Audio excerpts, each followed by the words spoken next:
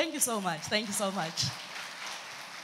Sorry, I, I felt we needed to dance, but uh, I forgot we are dealing with bankers. And you guys don't dance, just suits and ties. So, anyway, uh, my name is Nzambi, Nzambi Matee. I'm the founder of Gjenge Makers Limited. And uh, officially, greetings. I'm from Nairobi, Kenya, born and raised. And um, yeah, thank you, thank you. Thank you for coming. First time in Nigeria. I love the culture. As, uh, as he said, I love Nollywood. Everything I know is uh, based on Nollywood, everything I know about Nigeria. And I was saying yesterday, Nigeria as a culture, you're very vibrant, but you guys shout. And you just don't realize that you're shouting. Like I approached, I went to the airport. The visa guy like, Madam, Madam, come, come, come. I'm like, I promise you, I can hear you. So please don't shout. but it's, it's, it's, it's very refreshing. Um, so yeah, my name is Nzambi, founder of Gjenge Makers Limited. And unlike my previous um, presenters, I am not a banker, I'm an entrepreneur, uh, work in the circle, uh, circular economy. So what I do in a nutshell is I convert plastic waste into building products. So I'm more in the manufacturing space. And just to give you a track record as to why I started, um, we all know plastic waste is not a Kenya problem.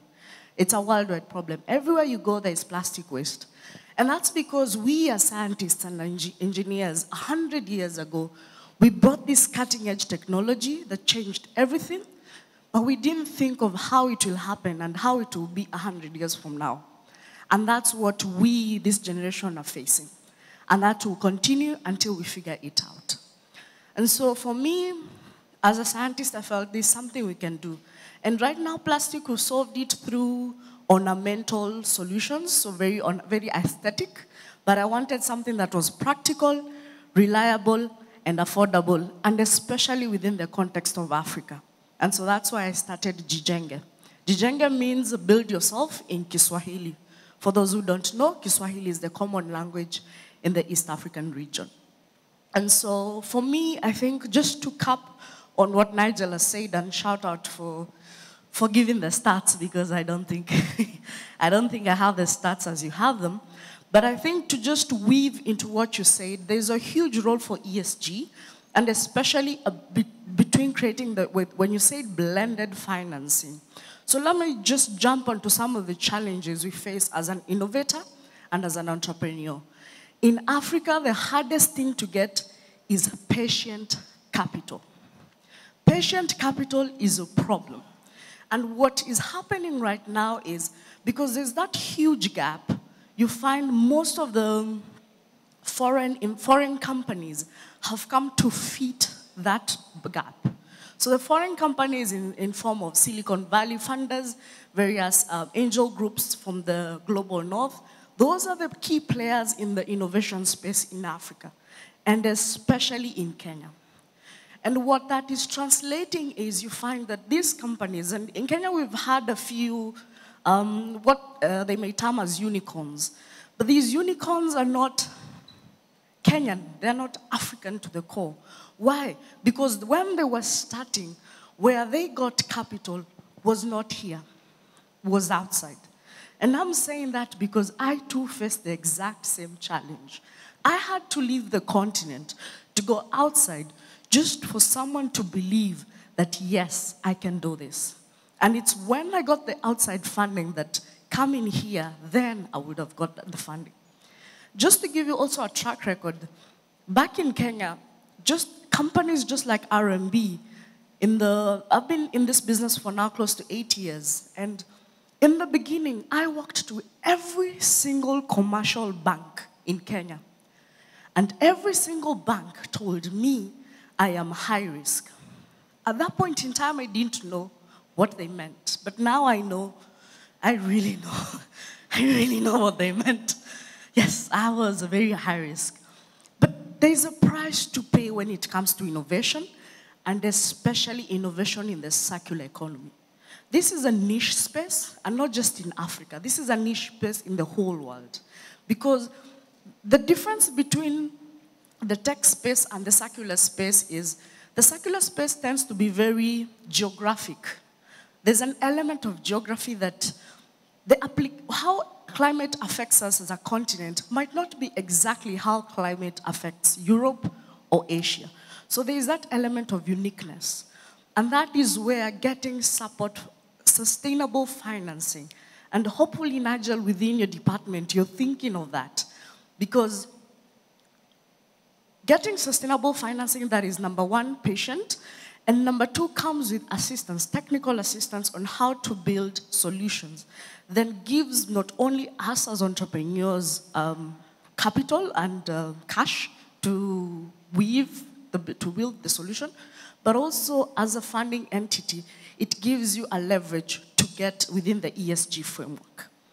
And so to cap that and move on to the next stage as far as building and manufacturing is concerned, in Africa, we have the legacy industries, the oil and gas, the agriculture, the, the mineral sector. In my other life, I used to be in oil and gas. And these sectors are very capital intensive, for the lack of a better word.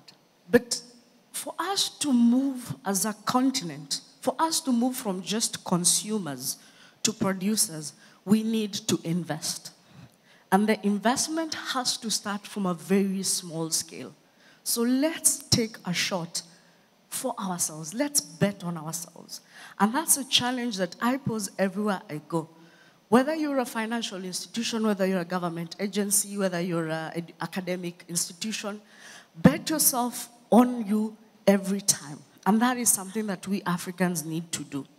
Because in manufacturing, once again, it's very capital intensive, and the difference, unlike tech, you have to have the capital up front. In tech, you can build a tech and then start generating revenue and then build the infrastructure later. But in manufacturing, it's the other way around. And so if you can't get the upfront support, then all you have is just but a nice idea. And so with that said and done, and I'll end my discussion here by saying, and this is posing a question to you all. I know sustainability is expensive, but it need not to be expensive. It only needs to be sustainable in the context of our own use as a people. And so the demand is there. As a company, for our products, our problem is not demand. Every single day I say no to a client. The problem is supply. And supply because all the machinery, the technology, the production process, we designed and fabricated ourselves. You may ask why. We started during COVID. And as you all know, the, during COVID period, the whole world shut down. Everyone who had machinery from India, from China, from Europe, they couldn't get the parts. And so they shut down. Who was left? Yours truly. Why? Because despite our machines being less efficient, we were able to build on it and work on it because we could access the parts, the technology, and five years down the line post-COVID, we're the only ones existing. And if that's anything to go by, it's time we start producing locally. And that's the first step. So with that said and done, thank you very much. And uh, I think there's a question and answer session. So thank you.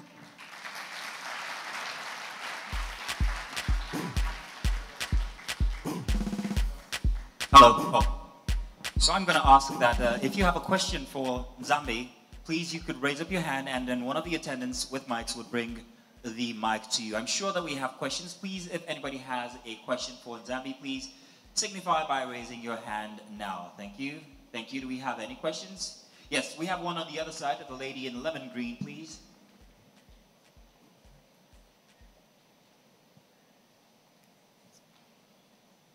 Hello, everyone. Um, good, after- good morning. Um, I'd like to know who are your major off-takers? who are the people that, or the businesses, people that patronize your, your products? And on an average, how, how much or how often do you produce? Like, what is the capacity of your current production line in your facility?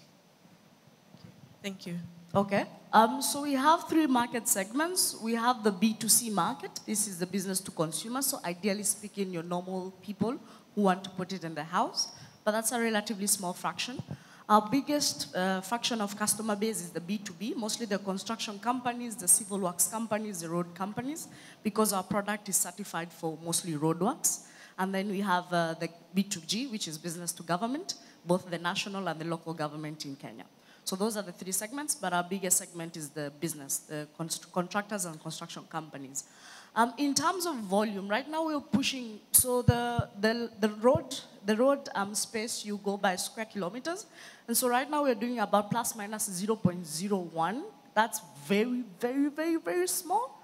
If you compare to competition like uh, tarmac, asphalt, and uh, murram, that's significantly small. Um, but in terms of uh, uptake, um, as I said in the beginning, our problem is not demand, our problem is supply. So I don't know if I answer all your questions.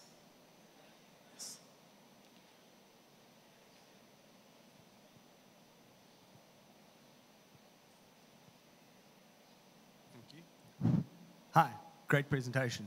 Um, so I've got two quick questions. So the first question is on, on the kind of B2B, is the demand coming from the business is largely to do with pricing availability, or how much of it comes from the fact that it's kind of green and social? So in other words, is there uh, some of them that will take it because it's green and, and you know they've got a specific need for that so that's one question the second question is you mentioned you raised capital out out of the continent who did that come from? You don't have, if you don't want, you don't have to. But it'd be interesting to know who, who it was, and are they still with you on the journey?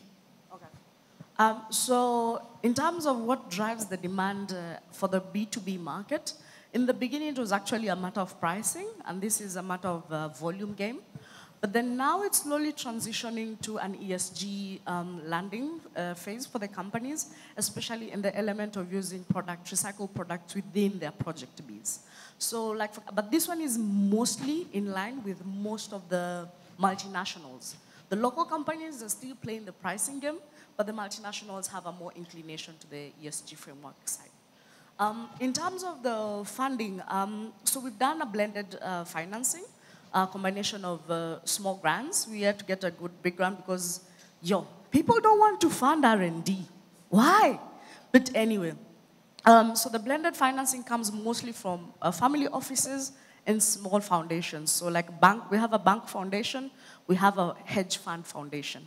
So those are the, the types of uh, funders because we are more inclined on the social impact, and, but we, we are for-profit company. Any other questions? Yeah. I got one. I got, I got a mic. Don't worry. I'm, I'm the host. so let me move away from the speaker. So Zambi, I wanted to know one thing that drives innovation is demand. And when it comes to what you do, making waste, turning it into building materials, there must have been a demand for it, I yeah. figure. Um, but you find that in Africa, even across the world, when people say they want to perhaps maybe do something to try and save the environment, it becomes an endeavor by rich people, people who can afford it. So the question is, how affordable are these building materials that you make out of waste? Is it like owning a Tesla where only rich men can say, I own a Tesla because I'm trying to save the world, when actually it's just because the poor people can't afford Teslas? So are your building materials affordable and how's this helping ordinary Kenyans build homes? Our product is actually 10% cheaper than the conventional product. Um, and the reason why we make that is, let's not lie to each other. Africa is a mass market. No, we don't have um, disposable income easily available to be able to afford the, the Teslas of the world. And so for me, building a solution, I wanted it to be number one, practical, but also affordable. And so that's why we made it affordable. However, what we want to do is now ramp up production so that we can even bring the prices even lower. So yes, we are not Teslas, but we are Toyotas.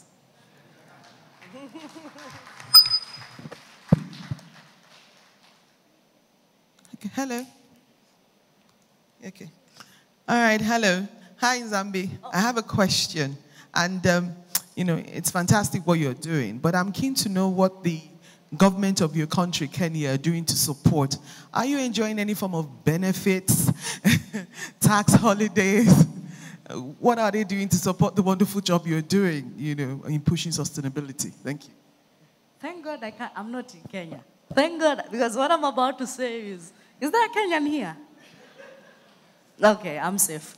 Um, so fortunately or unfortunately, um, our government, and this is not just Kenya, our governments are not in the business of making innovation um, accessible, whether it's through policies or whether it's through enabling the environment. For some strange reason, this is not their mandate, or rather, it seems not to be their mandate. But I'll not throw the baby with the bathwater. We've been able to say, as I said, one of our customer base is the B2G, business to government. But at this point in time, it's more of um, it's more of like a cherry on top kind of thing because, well, we are a young company, we are young people, it's environmental friendly. So it's like the flower girl kind of approach. But that's not what we want. We want the real business approach because that's not, flower girl is not sustainable. Um, however, um, as you all know what is happening in Kenya, we, we as young people, we're changing things. And I, and I truly believe things are going to change. Um, but as it is right now, it's, it's not in their agenda, if I may say so.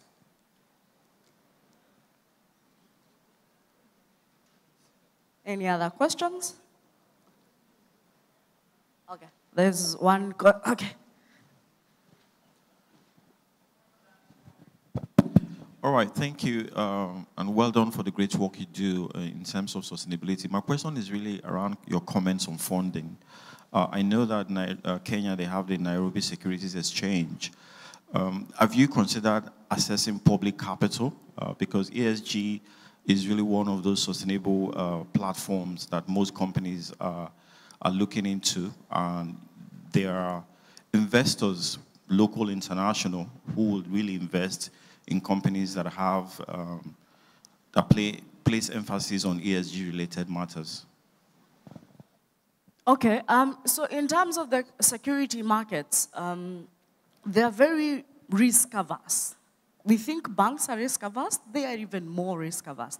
So they tend to invest in more legacy industries because, well, the, the risk is more, like it's controlled. You kind of can be able to control your risk factors. And so right now, personally, even as an entrepreneur, I don't think that's the right space of funding because then you get this capital with so much pressure. And remember, we have a lot of things that we kind of have to do research and development. And so we're shying away from that type of funding, also straight up uh, debt funding, which is very traditionally structured, or also venture capitalist funding, because we, we need some time to figure a lot of things out. We figured out the one part, but we have like 99 to go. And so that kind of funding will not make our work any easy. And that is why we see the angle of uh, whether it's grants or ES, support from ESG framework being a bit more lenient and mostly patient.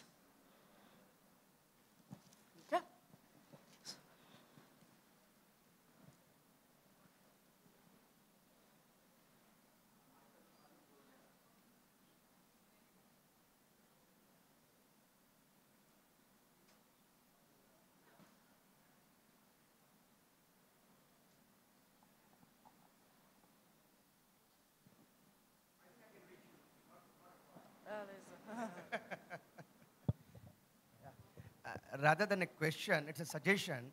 Why don't you think about crowdfunding? Crowdfunding, I think you can get more than what the banks can give and what is a requirement. In case your country has regulations for that or not, you can think about it.